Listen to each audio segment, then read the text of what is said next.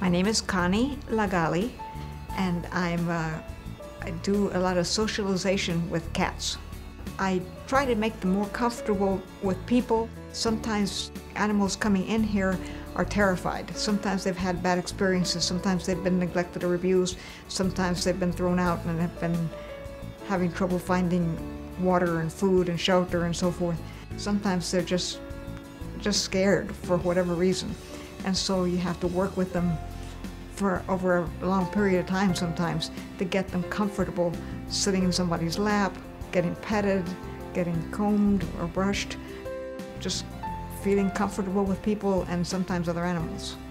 Like for example, we've had a couple cases recently where the owner has died and that cat has not known another life without that owner.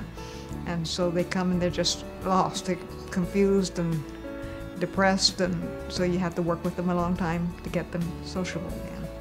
We've had also cases, for example, we've had one cat that came in with several siblings, and one by one they got adopted until there was just the one. And she was just not happy at all. She didn't know how to handle being by herself and uh, worked with her for probably two or three months trying to get her more comfortable with people.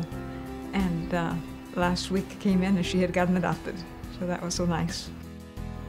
I love cats anyway, and I love animals, but I, especially I, I'm better with cats.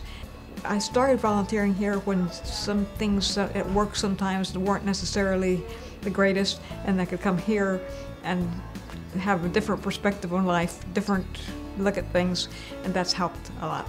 It's also shown me all the different things that cats need to become a, more adoptable.